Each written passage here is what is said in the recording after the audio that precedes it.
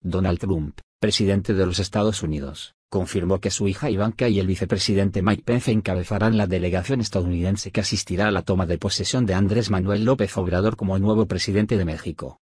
Así lo confirmó el mandatario estadounidense a reporteros durante una visita a Mississippi la tarde de este lunes.